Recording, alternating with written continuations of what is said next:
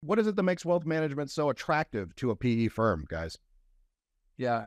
Well, you know, private equity is very eager to get in our space for a variety of reasons. You know, they're, you know, they're, they are in this business for a financial return. I mean, they're investors in our business for a financial return.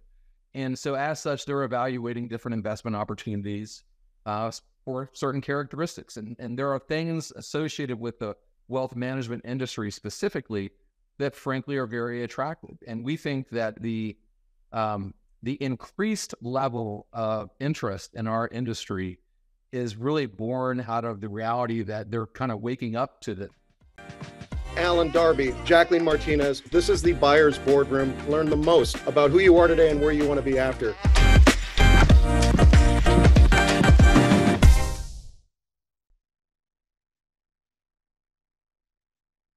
Welcome back, friends and family. This is Rick with Alaris Acquisitions and the Buyers Boardroom. With me, as always, Allen Darby and Jacqueline Martinez, our superstars, our Zen M&A masters. Today we got a sweet show. This is one I've been looking forward to for a long time, and we're going to be focusing specifically on capital sources in the M&A conversation. And of those capital sources, most notably, private equity today as a capital source, and why they're interested in our business to begin with. So our featured guest today is Matt Brinker of Merchant Investments, who go back years with Allen and Jacqueline from United Capital and beyond. And I'm super excited about this, guys. I've actually done a little bit of homework I don't believe you. Well, I did. Uh, last night, about this. I watched Wall Street last Perfect. night. Wall Street. Yeah, What you got exactly. episode. And it's a real feel good story, guys. It's about this company that needs some capital infusion so they can grow and get better. Yeah. And in comes this guy named Gordon, and he's happy to give him that money. And then he destroys the company. So I'm pretty excited. And I actually think maybe I could name today's episode on why private equity is so important to the M&A conversation. So I think I'm on the right track, guys, right? Well, your source material is uh, impeccable. You know, where you're getting your info from, I would tell you to pursue that. Fantastic. Hopefully today we're going to maybe sprinkle a little bit of reality into that, but it's uh you're uh, you're on a good start there, bud. Good. I Did think, I Google, think did Google say I everybody don't tell you to do that? I, No, you know me. I take initiative, guys. I took the ball and I ran with it. And uh, like I said, I feel like I'm a bit of an expert at PE right now, but we'll, we'll unpack that as this goes further. But guys, before we get anywhere, um, how was your week? Enough, enough about me. Anything crazy happen? Oh, stuff crazy happens every week, and uh, Jacqueline has an interesting one. Though. right? I know. Well, okay. So we had a deal fall apart essentially. Um, and typically, you know, you think that that's over the math, the valuation in some way. Um, but it was really over a perception of the seller's character that really unraveled everything. Um, yeah, so really interesting and and really no coming back from it after something like that happened. So we um, you know, the seller was trying to get to a certain valuation level. They suggested as part of the deal that um, I guess let me preface this by saying typically all sellers that we work with, their focus is on, you know, a great outcome for our employees, for our clients, and shareholders last. You know, when those two things are true, then everything else should really work out and be fine. In this situation, that was the complete opposite. And we had a seller that was willing to cut the team salaries in half to get to the valuation that they wanted Ouch. yeah never feels good you know and and we're suggesting things like uh you know we'll pay them the other half out of our valuation and for a period of time and you know the buyer's like well why what happens then 2 3 years down the road when you're done with doing that on your own then we have a bunch of unhappy employees you know so it just really went downhill from there yeah Yeah, it's it's it's interesting. You know, we uh, podcast or two ago we talked about the personality traits, the you know, like the screens that buyers bring you through before you ever get to the material things like valuation and deal structure and all the rest.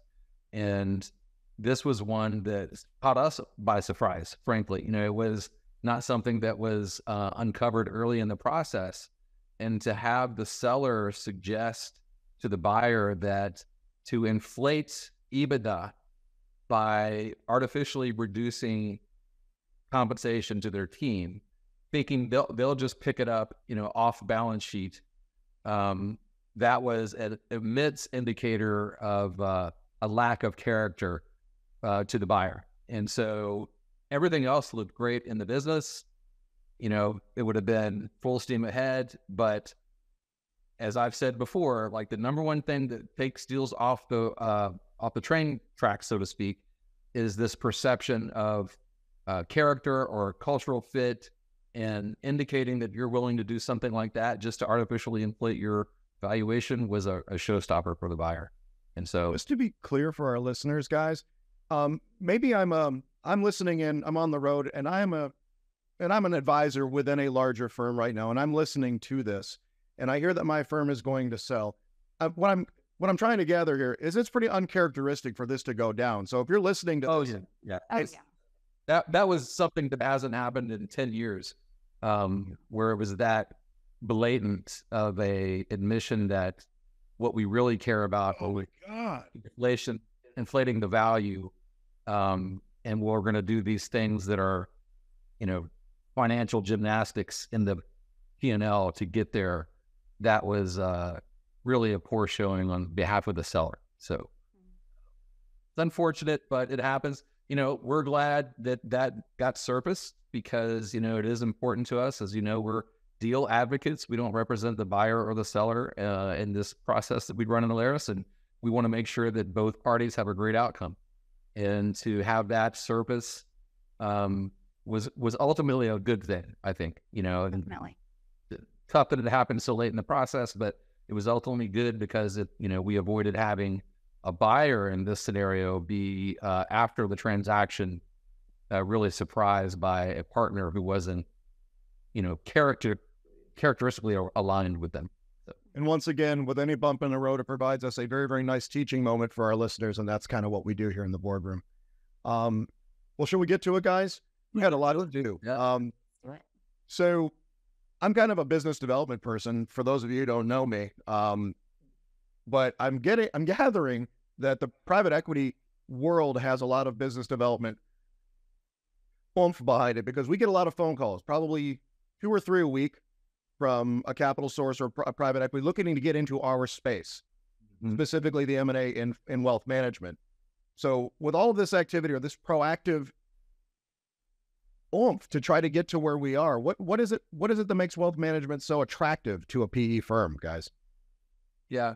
Well, you know, private equity is very eager to get in our space for a variety of reasons. You know, they're, you know, they're, they are in this business for a financial return. I mean, they're investors in our business for a financial return. And so as such, they're evaluating different investment opportunities uh, for certain characteristics. And, and there are things associated with the wealth management industry specifically that frankly are very attractive. And we think that the, um, the increased level of interest in our industry is really born out of the reality that they're kind of waking up to this reality. You know, you think about other industries that they've invested in heavily, like technology, software as a service, uh, Insurance distribution. Yeah, I mean, there's a number of them, um, and so now their their target is uh, squarely on the back of wealth management, and you ask yourself why? Why are they so interested in it? Well, wealth management, and I'm speaking specifically to those businesses who are more recurring revenue in, in nature, not not the commission uh, businesses, but it's a very dependable source of recurring revenue. So you compare you compare that to like a software as a service model where you have these um, licenses that are uh, generating you know recurring revenue year over year for these technology companies. Well, a financial services firm is that's an RIA, you know, recurring revenue based practice is not really different at all in that regard. And so that that is something that they're very interested in. Um, they're also interested in the scalability of our business, and that's the reality that you know as the business as the enterprise grows, the cost of adding new clients and therefore new revenues declines over time. So that's what when they when they say we want a scalable business, that's essentially what they're looking at is as these larger organizations that have invested millions of dollars in tech, in process, in people, the the the cost of the client or the dollar of revenue coming in the door over time declines, and so that's very uh, attractive to them. Um, there's a natural tailwind in our business called the stock market. that tends to drive revenue going forward. So that's something that's very unique to our industry, you know. Um, and so, you know, for these reasons, they're just kind of waking up to wealth management and saying this is a this is a sector that we should be deploying significant amounts of capital in. You know, so that that would be my kind of, Jacqueline, if you want to add anything to Yeah, that. I mean, I think That's kind of why they're so high in in terms of uh, coming to our, our space. For sure. It seemed, I mean, for long history, um, like back to our United Capital days, so many of our deals were at, you know, 5x, just steady, and that worked. And that was all the market was really commanding. And some attribute that to these businesses being undervalued for a period of time and private Yeah. equity really waking up to the value of it and understanding that you know, mar- most firms they have very high retention rates. They're not losing clients but for you know death or you know some reason like that um, and even in those cases working to get involved with planning with next gen clients kids of clients all of that to really bolster their client retention and and now we've seen uh, ebitda multiples multiples really skyrocket over the last few years And, and I would one one point I would add, like the demographics of our industry um, are frankly a bit older. You know, I, I think you know, you based on whatever report you read, the average age of a partner is somewhere north of fifty five, right? So that that speaks to um, an industry who's possibly looking for a monetization event in a call it a five to ten year window of time. And we're going to talk about this in a moment, but that really aligns with the time horizon of most private equity groups that are looking for, you know, a liquidity event and that and that type of time frame. So that that's also very important. So that's all right. So that tracks. It, it still kind of casts a pretty wide net, guys. I mean, we we see a lot of firms in a lot of shapes and sizes, and they they're built differently, they're structured differently, different philosophies. So to say they're interested in the RIA space, I get the recurring revenue, but that's a pretty big net. I mean, is there a specific target that's more attractive than others, or is that sort of there's a couple different answers to that? You mean a target from the PE who they're looking Yeah. for? Yeah. right Yeah. Okay. Got it. Got it. Yeah. Yeah. I mean, I would say typical target that they're looking for is in that the sweet spot of maybe 2 billion to 5 billion of advisory AUM. Um, they have a professional management team running the business, very limited, if any, client responsibilities. Uh, all advisors on the team being employees. You know, a lot of private equity firms while there's a lot of opportunity and um, profit expansion that can come from bringing on 1099 model firms and converting, you know, buying those up and converting that to employees over time, um, typically there is an interest in in in playing in that space, um, and really, really just finding that solid base where there's strong back office support that that they can easily add satellite locations um, add more advisors to fully leverage the the back office that's been built up in that. Yeah, they- when they call it a Yeah. um, the private equity groups that have contacted us, and I, I think that's probably indicative of the remainder. They're looking for what they call a platform acquisition, which is exactly as Jacqueline just described. It's it's a firm that they can invest it into. They're not looking to disintermediate the leadership or kind of step into running the company. They're looking for horses to back, and they want to find a firm, as she described, you know, two to five billion or so that has really demonstrated the capability of developing op- real operations, something uh, unique about their business that they can invest in and potentially attract other advisors to through what they call a tuck-in acquisitions. You know, so they're they're seeking an entry into the market um, by acquiring what they call a platform acquisition of that sort. All right. So I got the visions of like the person behind the big credenza. They got the cigar and they're, but so I got this vision. But I listen. This might be a dumb question, but how are private equity firms even set up? It is a dumb Yeah, that is. How long have you worked here? Yeah, well, okay. So here's the thing you should know: um, private equity firms are they're not in, typically investing their own money. You know, they're they're money managers. You know, like like the sort that we deal in every day in our in our wealth management industry. Um, they are typically backed by a fund, a fund that's set up um, that takes capital from ultra high net worth, high net worth investors. You know, um, that want to deploy um, you know money into their their strategy, and so they're they're they're building a, a portfolio of companies or investments, and it's all over the board in terms of how many investments they're going to have in any specific fund.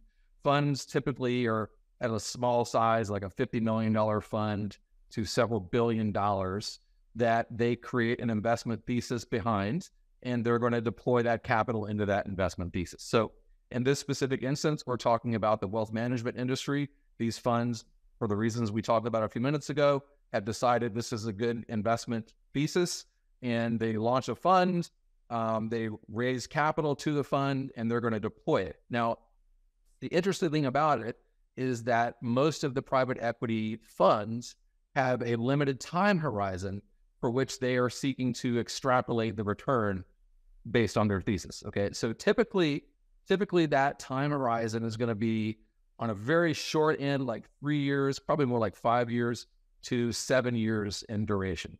And so this fund life cycle, from the moment they take a dollar and invest it into an enterprise, from the moment to the moment that they uh, liquidate that investment, is going to be a five to seven year period. It's actually stipulated and mandated by the fund operating agreement. So you know it's it's a shorter term time horizon. That's why a lot of the buyers, when they're on their kind of progression um, and, and their life cycle, uh, their source of capital uh, and their ultimate liquidity for shareholders is what we call this private equity recapitalization journey.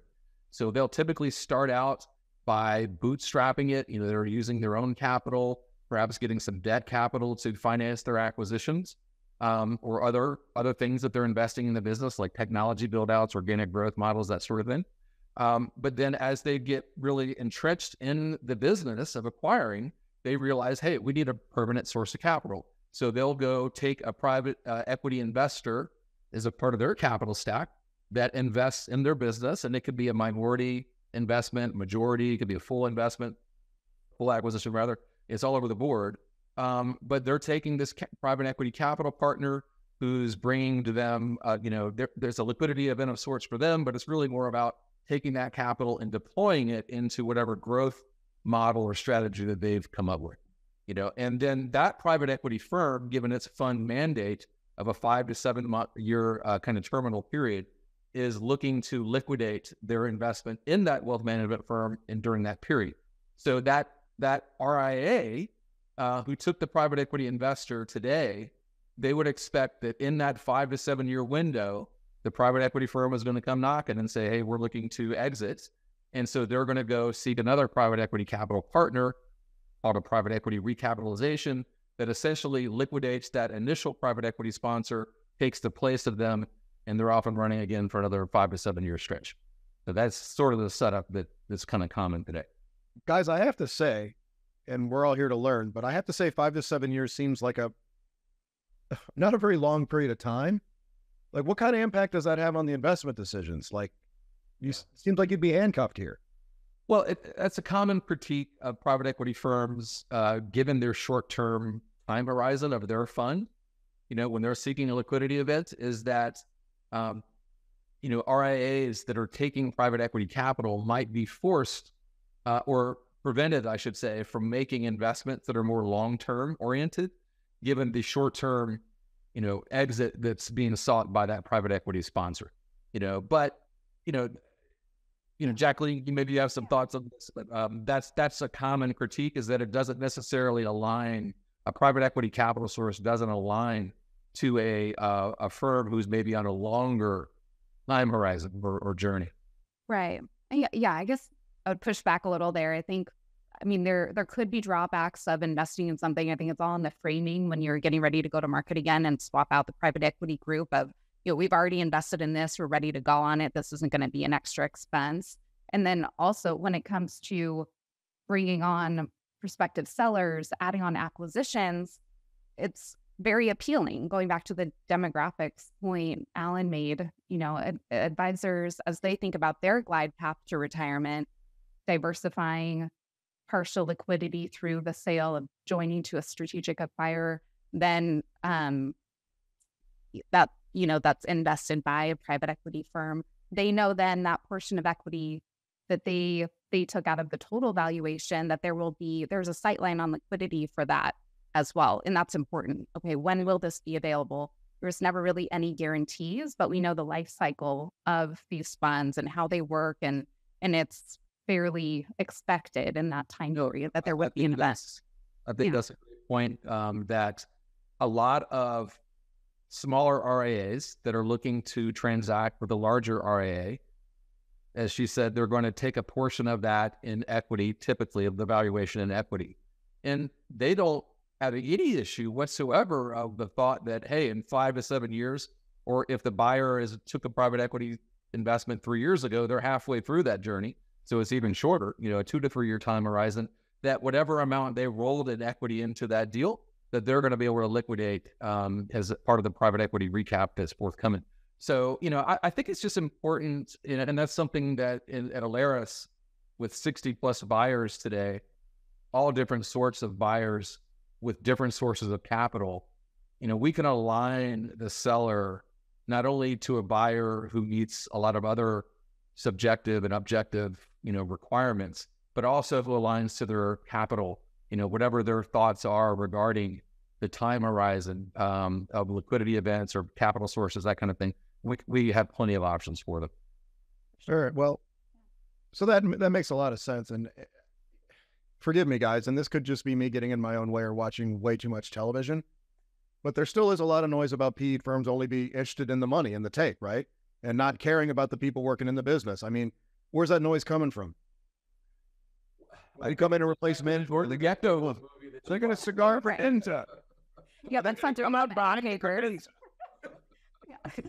Yeah, I, I- you know, look, there's this kind of general narrative or thought out there that private equity is a bunch of bad people just looking to extrapolate a financial return, uh, which they are, but not at the you know subjugation of the people involved in the business. You know, they're not looking to destroy lives or uh, you know ruin the experience for your clients. You know, as the advisor uh, they're good people. You know, they're they're just their model is a, it's a capital source, right? And so like so naturally, the only place that they can extrapolate a return is through seeing that investment progress. And as we've talked about in other episodes, there's the number one way that the RA acquisition that they've made delivers that return is in growth, right? So it's it's not in the Gordon Gekko stripping down of the the acquisition target and trying to in artificially and and temporarily increase profits by reducing expenses. It's actually by deploying capital into those businesses, helping them make smart investment decisions, helping them grow. That's where the return comes from. So, you know, I, I get the the kind of fear that's floating around out there, but I have yet to see it. Like I've been in this business decades. All right.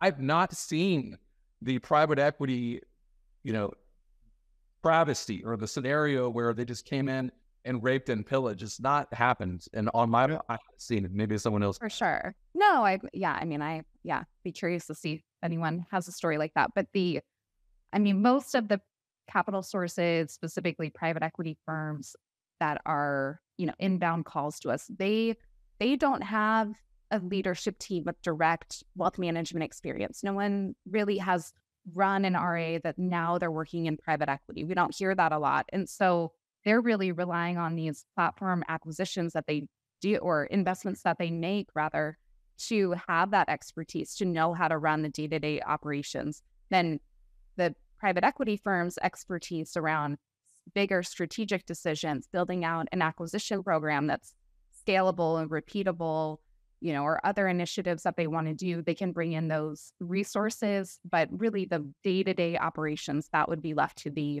the existing team um, and and really looking to you know what do we need to add to that team to get to the- the next level versus taking away. and that's where I think you know, as as as firms that are looking to work with private equity, uh, you know, sources of capital, or join a firm backed by private equity, you know, the thing that you want to ask is like, how accretive is that capital source to either us directly or to the firm that we're looking to join beyond the capital, right? Like, and and what you find is they're very smart people. You know, they they're managing billions of dollars for a reason, um, and they have good insight into how a firm should think about deploying their capital. They provide them access to resources and connections that probably wouldn't have gotten to on their own. You know, so there's a, there's a strategic element to the private equity that comes along with the capital, and that you know is obviously specific to the different private equity firms directly, but that's something that I think where a private equity firm can be really accretive to a buyer is beyond the money. You know, the money is kind of like table stakes in their world. Now it's like, how can we supercharge your growth, bring uh, smart ideas, resources, connections, things like that, that really accelerate your growth beyond what you could have done on your own. And really like help position for that next recap, any decisions that could be made right. that will make it more or less attractive. So, two questions. Uh, number one, what firms out there, selling firms, who should be thinking about taking on a PE firm as a partner as their capital source? Uh, my second question is, what does accretive mean? DM ChatGPT? I, I don't know what that means. I'm serious. I don't know what accretive means. Um, we can take that offline. no, no, it's good. I'm sorry. The uh, so accretive would mean the like that you're increasing enterprise value of the firm. You're increasing that that share value of the firm. Um, that could be, you know, effectively through EBITDA, your profit increases over time, but can come through a variety of ways at the top or in the middle of the P&L, um, but really driving that overall overall enterprise value. Yes, um, plus one equals three. Yeah, the easy way of understanding it. Um, but yeah, who should be thinking about taking on a PE firm? I mean, I yeah. So, and really, I mean, most common private equity deals that we see are that minority transaction. Sometimes they like to stay below the 20% level because it's different client consent provisions that are required, client communications that need to go out below that level. But it really can be minority, uh, majority full, anything, you know, it's really all over the board. Um, the first thing to understand is really like, do I need someone helping me work in the business or just a source of capital? You know, private equity firms generally, like I was saying before, they, you know, don't really have people that have built RAs that have managed them those folks are usually not on the team. They're not going to be taking over back office operations for you and that sort of thing. They're a strategic partner. They're participating in the long term vision of the firm. They're a resource to you from that standpoint. And it's very important, but that's very different from like joining a national acquirer, for example. Yeah. I think that it's like, do you think that your story is unfold and you have operational chops, you have something unique on the client value experience, do you have something unique on the organic growth front that all you need is capital to kind of turbocharge your growth going forward, you know, versus a firm who says, you know what, um, we've been plugging away at this for a long time, and we think there's probably someone else who's figured out a better mousetrap on all those areas. And rather than trying to go do that ourselves, we would rather hitch our wagon to someone else who's already pulled that off. You know, so the the former would be someone who wants a private equity investor. You know, you you have a story to be told, you want capital to go fulfill that story. Someone who is like, I'm not it, because look, there is a real commitment when you take a private equity sponsor as a capital source, there's an expectation of growth and performance. And so if you're not willing to sign up for that, don't take a private equity cap partner. You know, it's like you would be much better off joining with another firm who's taken private equity and and you know integrate it with their existing operations.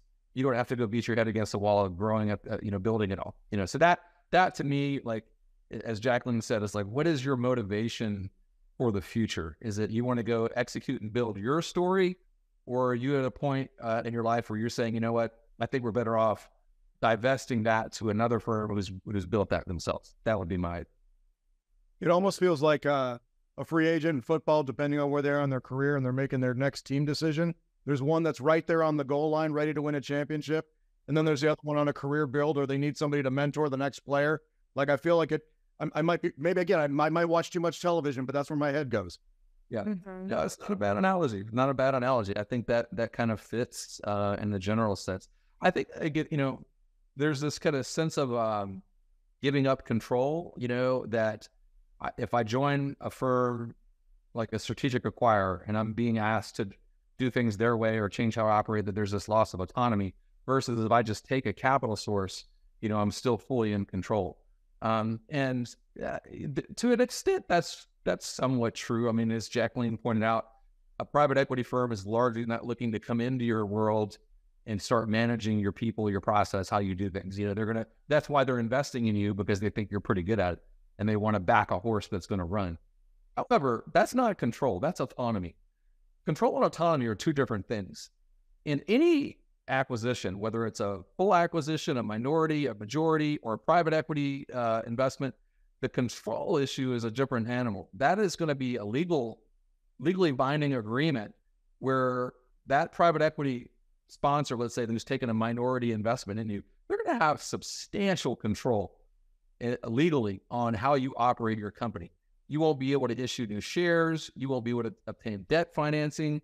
Uh, there's a whole, you know, host of things that they will have, even as a minority position in your business, that they're going to have control over. You know, and so I we do want to distinguish between this notion of um, what people express as control. They really mean autonomy.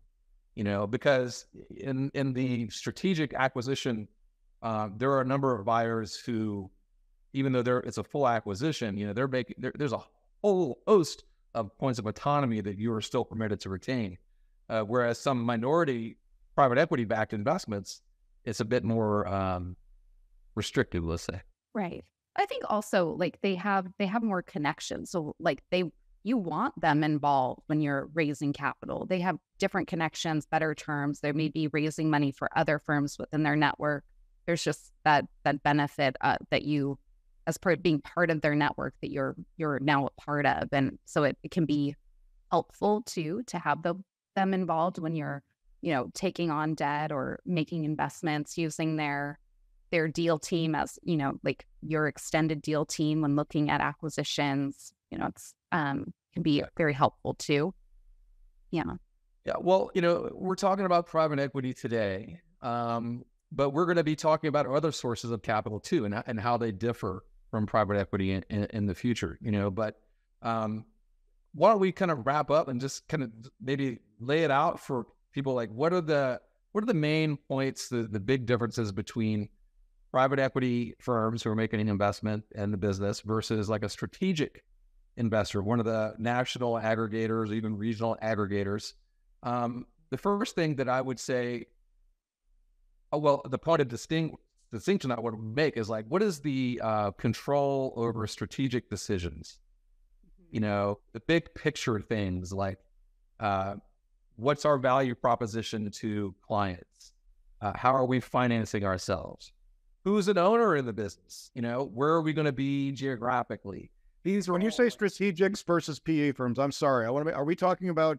Yeah, yeah. th- so we're going to compare yeah. two, but like, I, I, th- there's really two points, and I think the first is like, um, from a from a seller's perspective, what control over strategic? Okay. like a seat at the table when those things are being decided Exactly. with exactly. if you're with a national acquirer you're probably not in the room for that there's a management team that's Got it. doing that right That's right. Yeah. So Yeah. Like if you're transacting with a firm who's already in the business, that these are firms that are like likely backed by private equity or some other source of capital, they've got the C-suite in place. You know, they've got years of experience, uh, probably deployed millions of dollars into technology and process and practice management and all these things. So when you join a strategic acquirer like that, um, you are largely saying, you know what, we're giving up strategic decision making. We've met the leadership team. We generally vibe with their worldview and how they, you know, want to do things, and we're comfortable letting that rest. Now we're going to be a shareholder in this enterprise, but the day-to-day operation of the broad business is going to be rested with that C-suite of the acquirer. Conversely, with a private equity firm, that's going to stay with you, right, Jacqueline? I mean, they're going to the, the private equity firm is not stepping into that role of leading the your RIA. They they want you to do it. That's why they're right. Yeah, they're another vote, but you but you also have a you also have voting rights. You're you're there. You're part of that. You're likely driving those decisions and making sure they're on board. Um, That's right. So like strategic, that would be like the thing that I would think about differentiated between a, taking a private equity investor versus a strategic acquirer is strategics. I'm largely divesting the uh, the control decisions, the strategic decisions, the seat at the table type stuff with a private equity firm that's largely staying with me. Mm-hmm. Uh, the second uh, point that we would evaluate is what degree of business lift are you looking for? And now, business lift comes in a variety of ways centralizing your back office, bringing practice, practice management initiatives to the table, helping you operate better, bringing additional service lines to the business, maybe bringing new resources and people, uh, organic growth initiatives that they bring to the table. So, um, if you are looking for that type of business lift, uh, then the strategic acquirer is likely your best route, right, Jacqueline? Yeah, absolutely. That's where you're going to find all, all of all of those things. And going back to the point earlier, and on the private equity side, they don't have the answers to those things. They may be they may have connections to different vendors that you could use and that sort of thing, but really they're not trying to meddle in your your operations. Like they they trust that you know how to run a good business. They're they're merely trying to help enhance what you're already doing, find more scale, more efficiency, but but the core of what you're doing today isn't really going to change from a like back office and right practice management. The day after getting the check from the private equity sponsor, nothing changes really in your world. They're saying, "Hey, here's we believe in you. We're investing in you. We need you to go build." Now they may bring some some good ideas and connections and things like that to the table, but you're not really going to be getting any improvements in the day in day out operations of your current enterprise by taking a private equity sponsor. That's typically not how it works. So those two points, you know, do you do you want to retain control over the strategic decision making, and are you looking for any business lift? Um, however we define that, that would point you in the direction of seeking either a strategic strategic, strategic acquirer or a private equity sponsor, right? So that that would be that. So yeah. Well, I know one way we can enhance what we're doing, to use your words, Jacqueline. Um, maybe we should introduce Matt Brinker of Merchant Investments, who actually lives and breathes the air we are describing right now. Uh, Allen, you got a chance to spend some time with your old friend Matt. Why don't we dig yeah. in and what you guys uncovered to add some validity to what we're talking about today? Well, you know, uh, Jacqueline and I go way back with Matt, or Matty B, as we call him, uh, Matt Brinker. Uh, he is the EVP of United Capital for many, many years. He was there at the starting foundational time period of United, all the way through the exit. So we have uh, he's not only a dear friend, uh, but one of the smartest guys in the industry. He's now leading the uh, wealth management division of Merchant Investment, which is which is a I wouldn't necessarily categorize them as a private equity firm, but they're kind of a quasi private equity firm um, who has made investments at over 80 at this point uh, RIAs around the country doing exactly what we talk about. They're a capital provider, they're a source of strategic knowledge and connection and things like that. So we're huge fans of Merchant and uh, we're really huge fans of Max. So I'm really excited about this interview. Okay, uh, welcome to the Buyers Boardroom guest segment. I'm super excited uh, to have uh, a, a, friend and colleague, former colleague of mine, Matt Brinker. How you doing, Matt? Mr. Brown, how are you about it? Doing great, man. Doing great. We're, we're really excited. Uh, Jacqueline, Rick, and I are super excited to have you on this uh, specific episode. We think you're, well, one, we think uh, very highly, uh, you're near and dear to our hearts as a former colleague and, and partner with Alaris, and uh, also what I would consider a bona fide expert in many facets of the industry specific to the topic of sources of capital, specifically private equity today. So, um, Thank those you don't know, Matt and I worked together closely at United Capital. Uh, Matt was the EVP of our corporate development. So he led the M&A acquisition uh, group for United Capital, and I was fortunate to be a part of that team uh, for for the last seven seven and a half years before we sold to Goldman Sachs. So yeah, awesome awesome time working with you and Jacqueline. So uh, why don't we just kind of dive right in uh, to today's topic? Um, first, uh, you are a managing partner at Merchant Investment Management. So what, maybe why don't you introduce yourself and just give us a little bit of what Merchants, who they are, what they do, and what role you play in the firm. Sure. So yeah, um, I'm one of the managing partners at uh, at Merchant, and think of Merchant as a an investor uh, in wealth management firms and firms that support the wealth management ecosystem. And, you know, our investments tend to be um, minority in, in nature. We've done about 70, um, 70 investments uh, for the last um, six years. It represents about 140 billion of um, of, of AUM in, wow. in the ecosystem. It's it's across currently six countries, um, soon to be um, soon to be seven, and you know, we're structured as a um, we're structured as a um, an operating company. Uh, we're we're not a fund, uh, which means that the way that we look at investments in this industry is with real long duration. Um, that you know we've got you know capital that is what we sort of think as permanent. I don't really, when people say permanent, I don't really know what that means, but it's a, a real long time, right? So 15 years. So it allows us to invest um, into our firms with a little bit more patience and strategic thinking around how these firms want to mature, grow, acquire, grow inorganically, um, and the like. So, um, yeah, that's what's been that's been keeping us really busy. Yeah.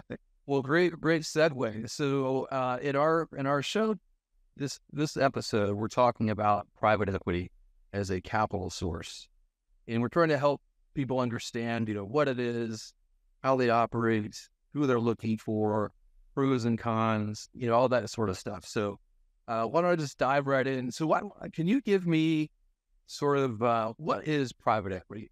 you know, why don't you just start there and treat, treat, treat me like I'm a second grader here. Whatever it's a private equity uh, investor, um, how do they work? How are they structured? Typical deal terms and things like that. Yeah. So, you know, think of private equity is a, um, as a, a pool of, of money, um, that has been uh, aggregated. It makes up ultra net high, uh, ultra high net worth individuals. It's pensions. It's insurance companies, and uh, the principals of private equity firms will make uh, you know, direct investments in privately held companies. You know, super super straightforward, right? So. Um, you, know, some of the big headline names, um, the KKRs of the world, the Apollos uh, are some of the just you know more household names. And, um, you, you, know, I think it's an incredibly important topic to be talking about as it pertains to private equity and wealth management, because um, you know, I think all this research is relatively accurate. You know, 60 plus or minus percent of all of the transactions last year um, were either directly or indirectly funded by private equity. Wow. So, okay. yeah, right. So, and when I say indirectly, you know, it's the um, you know the roll up firms that are backed by private equity, and, and as we know, the roll up firms, the national acquirers, the serial acquirers, whatever nomenclature we want to use, are backed by private equity investors, and so they're you know they're they're representing a huge part of the the, the industry. Um, and, and then they're also making you know uh, large direct investments uh, into you know sizable um, you know pretty good example is you know taking Focus Financial private. That's right. that's obviously an example of a of a private equity transaction. So um, yeah, they're they're everywhere and uh, they're everywhere in our industry right now. And uh, you mentioned, I, yeah, so well, you mentioned merchant being um, organized as an operating firm, and you distinguished it from a fund. Yeah. Well, is that what a typical private equity firm, like you said, it's a it's a pool of money, but the structure behind it, what how is that? It's typically structured as you know, in in simple terms, it's structured as uh, a fund with certain expectations and terms to the underlying private equity investors. Right. That there will be a um, there'll be liquidity events along the way, meaning that the you know making up a fund A might have 30, 50, 75 positions, depends on the type of fund that the private equity firm is is, is designed. And you know, private equity investors' expectations are uh, you know, investing in individual companies that eventually either go public or are are bought. And that's where the Could be another private equity firm buying them out, but it's uh, Sure. Yeah. Yeah. It, it, it, it that liquidity takes on a lot of different, um, a lot of different forms, but for the most part, the private equity investors' expectations are the outsized gains come from the portfolio companies transacting onto themselves, right? Either exiting or whatever it might be, being bought, going public. Um, and private equity investors' expectations are return on capital in timelines that are around five, three to five years. And, and that's been sort of the, and that's been the, sort of the traditional narrative of, of, of private equity. But I, I, think what I'm seeing and hearing more of is um, private equity firms creating liquidity in Fund A, mm-hmm. but selling portfolios, in, selling portfolio positions into Fund B. So if they have a they have a, a, company that they really like, it's got growth, great growth characteristics, is performing well, they like the industry and the big macro trends.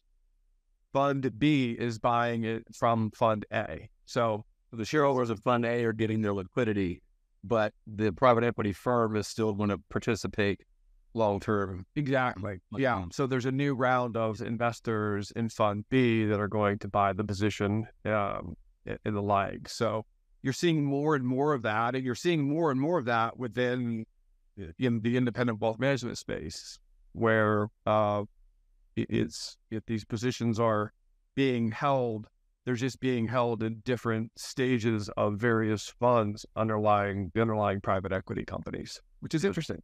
Yeah, yeah. Well, you know, let me ask you this. Uh, so we we got the, the typical time horizon, and that could be altered given as multiple funds that they kind of purchase the uh, the positions of the previous funds out. But what what would you expect? Like, what are some of the control provisions? So I'm gonna I'm an invest I'm a I'm a wealth management firm, and I'm thinking maybe I want to take on a private equity uh, investor into my business. What can I typically expect? How do they help me? Is it just money? or are they doing anything else besides money? It, it, it, hard to generalize, but let's do that for a second. And you know, p- private equity traditionally is going to take a control position. It's just right. The, it's just the way they like to operate. Now you're you're obviously going to find private equity firms that are willing to be in in in, um, in a minority position, but generally, um, private equity prefers to take a majority position in the business. And I think again, depending on the firm, um, it, it, look, we you know we we had uh, several private equity investors and venture actually uh, with Bessemer at United Capital, right? And uh, you know we found them immensely helpful uh, across the evolution and the growth of the business. And I think all things being relatively equal, when a firm is contemplating taking on a private equity investor, um, price and terms are generally going to be in the same range. If you've got five five private equity investors pursuing a firm, price and terms are going to be relatively, you know, relatively in the same ranges. And where they're able to differentiate is a bit of a track record in helping their portfolio companies grow, scale, add talent, and the like. And, um, you know, when you're thinking about taking a lot of private equity investors, and we did the same thing, is that we wanted to go talk to 10, 12 of their portfolio companies that had been, um, that had been, t- had taken money from these private equity firms. And so we knew what the journey had been like for them right. as a portfolio company. And look, things invariably, you know, uh, their investment is really um, a projection on what's going to happen in the future, which is, you know, it's a spreadsheet, plugging in some numbers, finger in the air, and hoping and praying. But, you know, as we all know, things happen, right? Um, global crisis, you know, there's just things all, you know, yeah. not world pandemics, like things happen. And so, you know, how somebody behaves in those clunky times is really important when you're taking on any type of capital partner. Yeah. Because we know invariably um, things never go as planned. And so, uh, you know, that's. Uh, we would, we would vote that they're bringing some strategic, that they're bringing capital, obviously, but but then there's some strategic benefit to working with them, as you mentioned. You know, they've done this before. You know, it's helping us think through complex scenarios. Yeah. You know, how do how do we build our business? Absolutely. Invest money. Um, you know, what maybe introducing us to talent that can help us grow. There's a whole variety of things. So it's not it's not just the money. Okay. Um, you mentioned control provisions. Um, well, let, let me just say this first. There's a lot of uh, fear uh, that I, I just see people when they a lot of a lot of firms, a lot of people we talk to them, and they they know that a buyer that that we may um, thinking is a good fit for them is backed by private equity, and their immediate reaction is to say, "Oh, well, well, well I don't want any, I don't want to deal with private equity because it's almost like they, they have horns on their heads, and they're they're just coming in to to, you know, just crack, you know, bird slash, yeah, bang, just to for the sake of making a butt." Is that true? I mean, are they actually? No. You said it. They're looking to grow, so that's where the return comes from. It's not from firing people, um, jamming product down your clients' throats. It's not none of that, correct? I, I yeah. I, I, mean, I think it's it's always eh, you know, any type of outside capital. Uh, eh, yeah, well, I don't know. I, I don't know where that. I, I think I know where it comes from. I think people have probably read Barbarians at the Gate too many times, seen Wall Street once too many times. Gordon You know, it's been it's been it's been sensationalized by Hollywood and look, there are clearly there are stories of LBO firms, leveraged buyout firms, and the you know that just ran that playbook. You know, I mean, it, it just yeah that ha- that has happened. Um, you know, my experience is I haven't seen any of that. I just I haven't either. And it's just like I, I, I my only experience would be what I've watched in movies. It looked like the you, the yeah. equity groups that we've interacted with, they're very sincere people for the most part.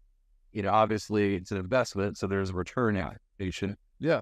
They're not doing it through these, you know, ways. It's uh, like just trying to lock arms with people that they believe in, uh, help them grow to the best of their ability. So, okay. But yeah, look, but in same breath, you know, they're professional investors. They have rate of return expectations. They have, uh, they will take board seats in their governance allows them in a control position. That's why they take control positions, right? You know, because when things don't go as planned outside of, um, you, you know, sort of the, you know, the, the variables that are impossible to control, right? Um, externalities, uh, you know, there's a lot of leeway that comes with that. But when, you know, people aren't, you know, you know, like when the leadership isn't operating, and executing, they will change your your leadership. Well, that and that's something that you know is very important, and I've I've I find this to be true even for firms who take a minority. I mean, there's a difference between ownership and control.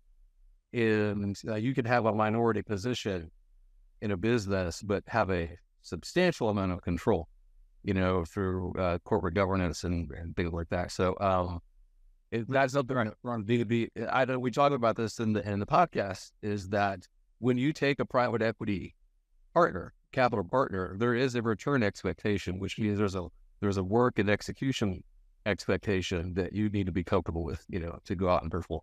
It's a really good point. Yeah, and then yes. well, what, let me ask you this: So, when when would, in your opinion, you know, if I'm looking at capital sources, and, and let's just say private equity maybe versus debt, cap. When would be when should I be thinking about taking private equity versus debt or vice versa?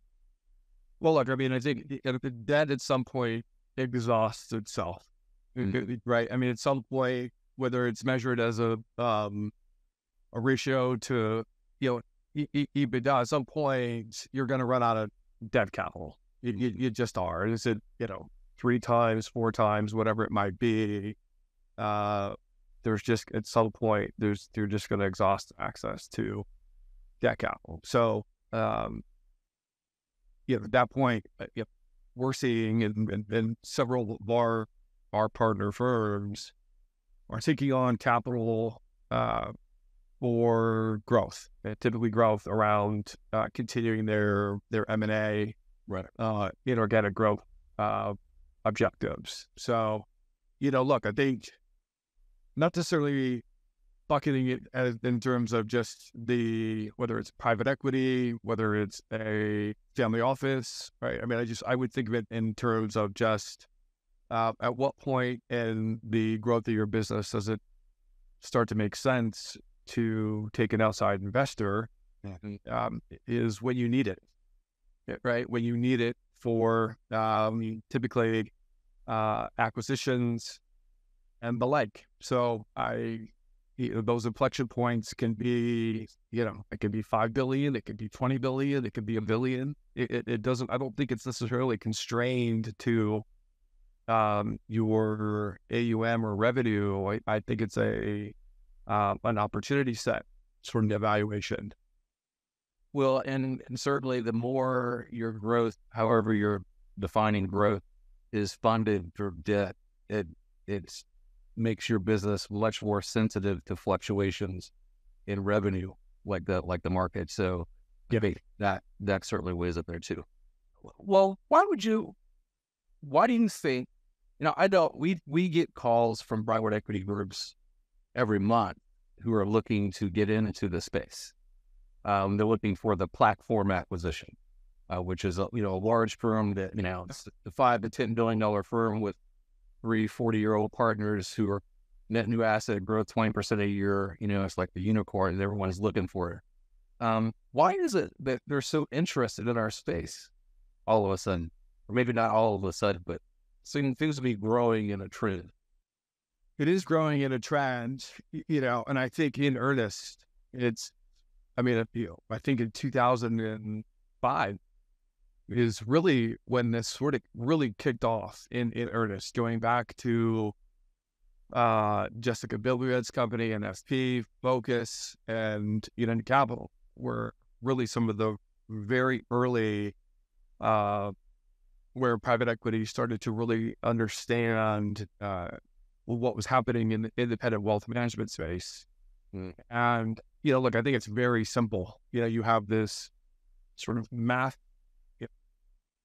major macro trend of um, assets and clients moving to independence. Mm-hmm. Okay, so you have 14,000, you know, RIAs plus or minus, you know, it's a multi-trillion dollar industry. Um, you know, you've got the, you know, wirehouse losing, wirehouse channels, you know, losing assets and advisors to the independent channel. Um, and, you know, in parallel next to it, you have all of this wealth tech and fintech investment um, facilitating the growth of the independent space. So, uh, you know, the big macro trends have been just sort of continuing um, for the last, you know, decade plus in terms of just growth unto itself. Um, and then some of the more, you know, basic sort of, you know, foundational components are you have recurring revenue, Mm-hmm. right? Um, clients generally don't leave. Right. So, right, right. So Very client retention is super high. Um, and you don't have any inventory. Uh, uh, uh, so there's there's some Yeah. some really interesting high profits, high margins, um, and I think they they they sort of mitigate a lot of their risks by um, being mindful of not investing in overly um, centric lifestyle businesses, overly transactional, and so you know on the you know so I think and, and you're seeing these successful exits too as well, right? or, or, or- which gets Yeah, the more that happens, that the more yeah is established. Yeah. for sure. Yeah, for sure. And you've got, I mean, you you have the household names in private equity um, that have been uh, allocating to you know wealth management. Um, so all of the, well, I say most of the largest independent, non-publicly traded independent broker dealers are private equity backed. Mm-hmm. Um, you know, KKR, Genstar, uh, and the like. So um, they really understand this space. They understand the retail client. They understand the independent broker dealer platforms. They understand the asset. They're also clearly in the asset management side of the house as well. So they they understand the whole spectrum of the retail client journey. Uh, and uh, and it, it, it clearly is an incredible asset class from an investment perspective. So, on that note, um, the, the prices that we hear thrown about, you know, in terms of multiples, um, have escalated beyond anything I think you and I would have thought maybe ten years ago. You know, it's, it's like yeah, and where does that? So, like we've heard multiples like north of twenty, you know, for some of these larger platform acquisitions. Um, do you see that, you know, trend continuing? Like, where does it, where does it stop? Like a, oh, I, I don't know that answer. Um, uh, you know, and I think, um, you know, where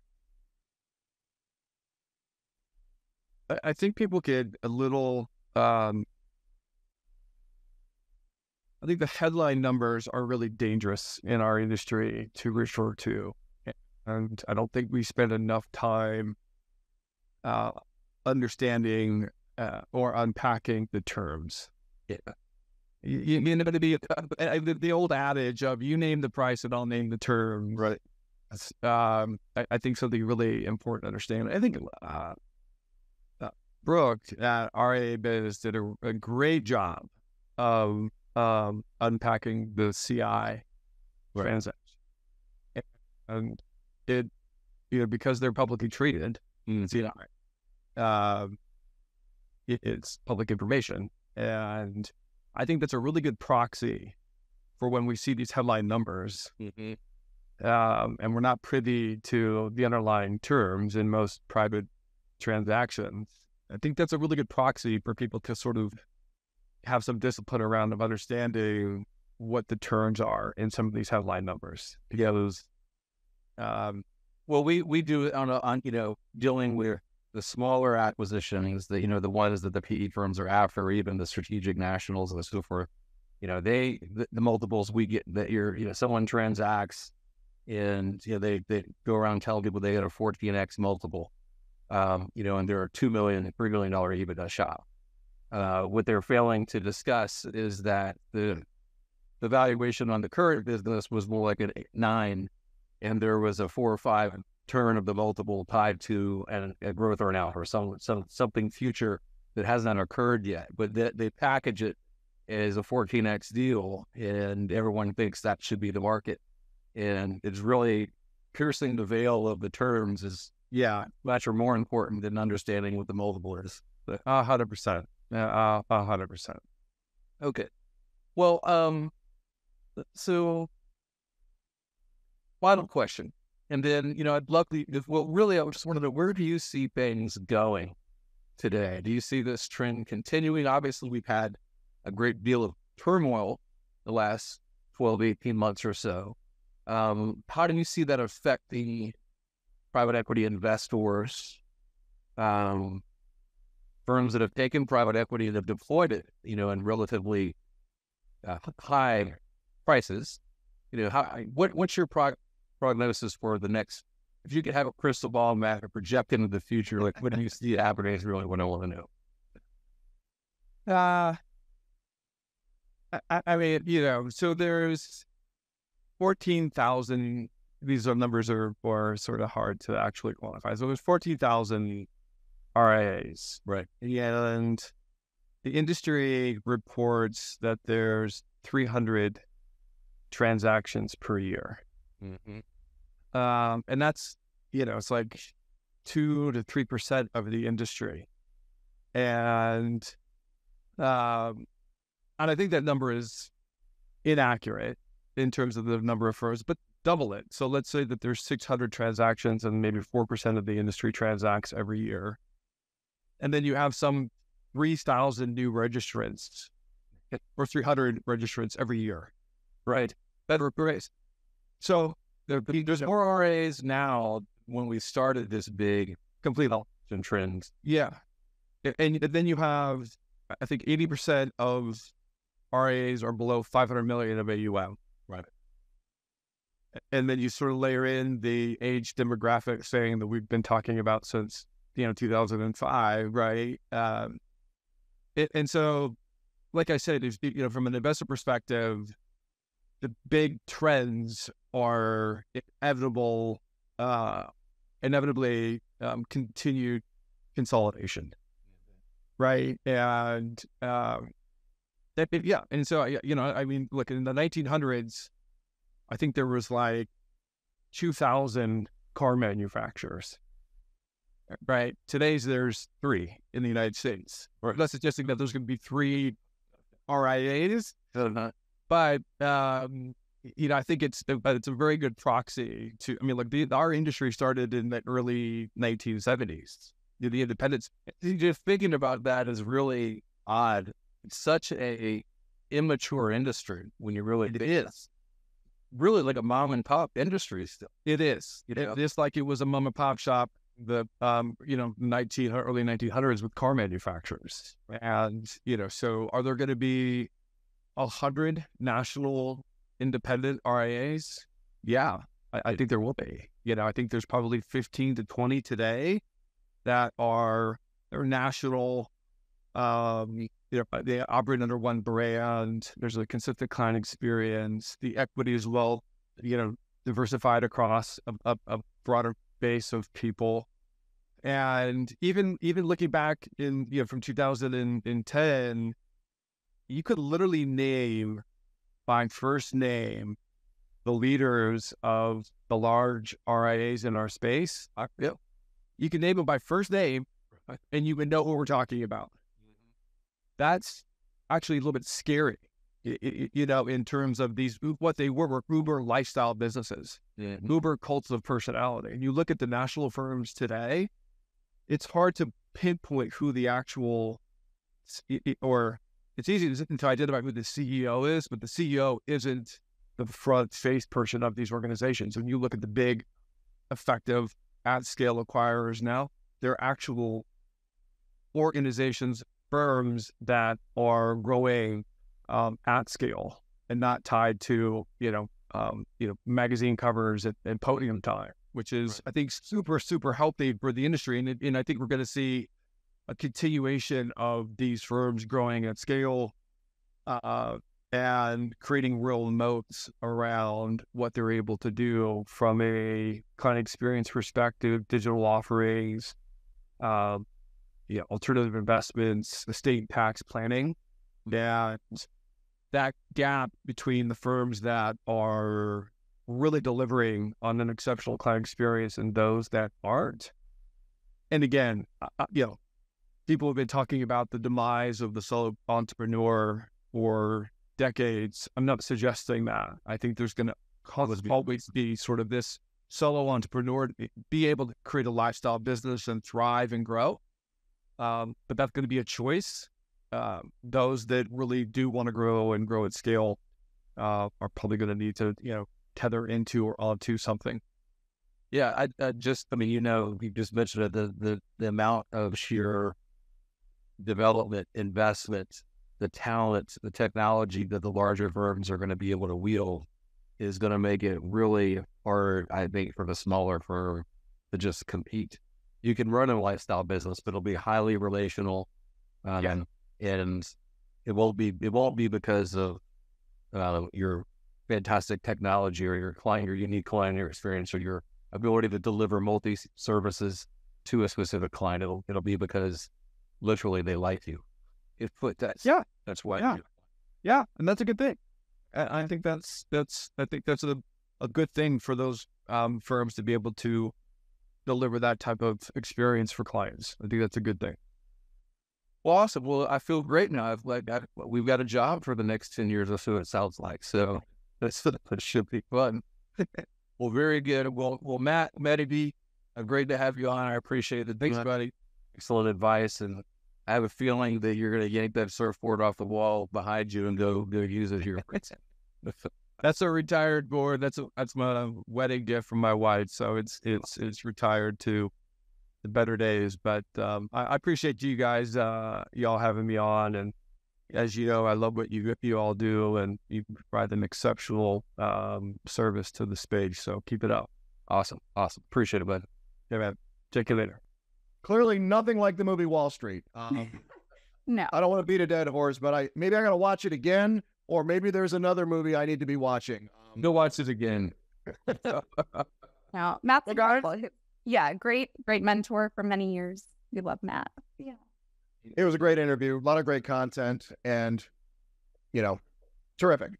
So, as always, this is the mailbag session. Boardroom at AlarisAcquisitions.com. That is boardroom at AlarisAcquisitions.com. We will take your questions, whether you're a seller, whether you're a buyer, whether you're anything in between um, M&A related, this is the place. And if you're lucky, we'll read one on air in a future episode. We got kind of a packed mailbag today, guys. We've got three. I don't know if we'll have time for all of them. But first question, a little long. Hi, boardroom. First time writer. Love your show. I have a practice that is approximately 300 million after 10 years. I still want to grow and work for the foreseeable future. It seems like buying another practice makes the most sense for me, but I'm not really sure how to go about my search. Is that something Alaris can help with, or am I too small to be a buyer? Yeah. Um. So. all right. So one. Um. Probably too small for Alaris. You know that the I think the smallest buyer in our roster today is is north of a billion. Um. And and the reason why is if you're seeking to acquire, typically you're going to be acquiring firms that are roughly 20 to 30% your size. You know, so if you're at 300 million, you're going to be targeting 50 to 100 million dollar practices, which is um, a bit beneath kind of the target, the, uh, the, the realm we play in. So, um, you know, as there's so many of those firms out there, they're typically older firms that are looking to exit uh, in a in a really short window of period of time, and it's just not really our strong suit. So, um, now how to go about your search? That's a different question. Um, you know, I would do it the way we uh, like. You can pull lists from reputable data sources we use data discovery. Um, I mean, it's public information. The SEC website, you can go get information on who uh, the owners of RIAs are today. But it's a, it's really it's a grassroots effort. You're going to have to call them, email them, maybe connect with them on social media, and try to establish a rapport with them to where they would be willing to have a conversation with you. So it is like hyper competitive, hyper hyper competitive. Um, there are now, um, when we were doing this at United, Jacqueline, there were maybe what, four or five buyers that were of any renown across the country. Right. Easily north of 100 t- uh, today, and, and probably more like 300 if we're counting all the regionals and locals. Um, so it's just, yeah, now, you know, attend trade shows, go to conferences, uh, custodial conferences, go to your local uh, FPA meetings, um, CFP meetings, things like that, that, you know, you can uh, network with and find the people who are looking to maybe transact. Um, now, you have to have a value proposition though. What is your value prop? Are you are you merely a monetization event, a de, uh, you know a de-risking of the asset for the seller, or are you looking for firms that are going to join you? Um, and then if you're of that sort, that's a whole other category of value proposition. You've got to be delivering the goods for the seller. You know, how are you helping them operationally, practice management, expansion of services, organic growth, all these things. So, you know, um, it's a big, and by the way, for any firm that's looking to be an acquirer, even if you're not um, a candidate to be on our buyer roster, we're perfectly happy to talk with you and kind of give you our opinion on what you need to be thinking about. Uh, because you know, if you're successful one day, you are going to be a sizable buyer, and that's someone we would want to work with. So, um, this question reads: small to be a buyer. This question reads very similar to a lot of our introductory discovery calls, Allen, where, you know, sometimes people believe that they're a buyer and there's nothing wrong with that because they're still trying to get to know the industry. But, you know, then they go down the path where they're they're learning partnership and growth. Because this gentleman says he wants, you know, Dave says he wants to work 10 more years and he wants to continue to grow. And he believes that acquisitions is only way of one way of doing it. So many of our conversations start that way and then they're like, oh, and they learn all the things that we talk about as far as control and autonomy, and they get to have their cake and eat it too. So, great, great question. Thanks for writing in, Dave. Question two boardroom team. This isn't even a question, guys. Um, boardroom team, it might be nice to hear from some seller firms that have utilized your services in future episodes. Enjoying your podcast. Yeah. Love that idea.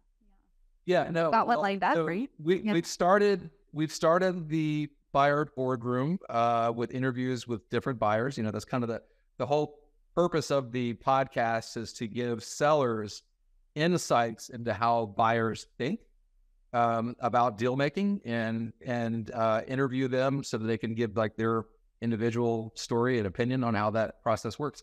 However, we are incorporating sellers uh, that we've worked with in the past into our podcast series. And in fact, in a very near term upcoming podcast episode, we're going to be interviewing uh, one of the firms that we transacted with, uh, I think, a couple years ago, um, and talk to them about, hey, like, what was your frame of mind coming into this?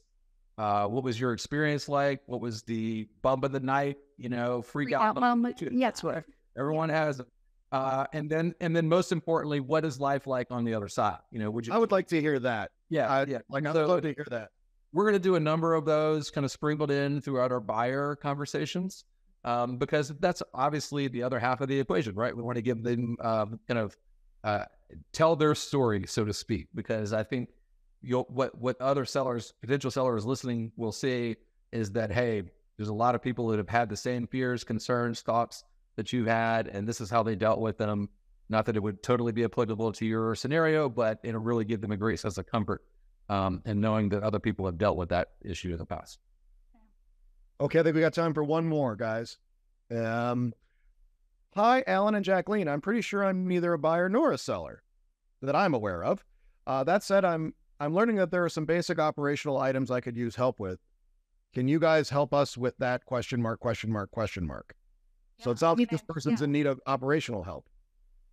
I'd love to hear more about that. I, I would say, in in general, though, we're completely happy to bring um, firms through a certain level of our of our process. You know, prior to meeting any buyers, but really to get to know them and you know really solicited or not. Sounds like soliciting some feedback here, but um, we are very transparent about our observations of how the business is running, opportunities to get deal ready um, at some point down the road and and give that feedback and we package that up to it into a nice consulting offering too so would love to Yeah, a lot of times they, they'll actually get started with us and they're not, they'll tell us, hey, look, we're probably not looking to transact this year. Maybe it's three years, two years, something like that.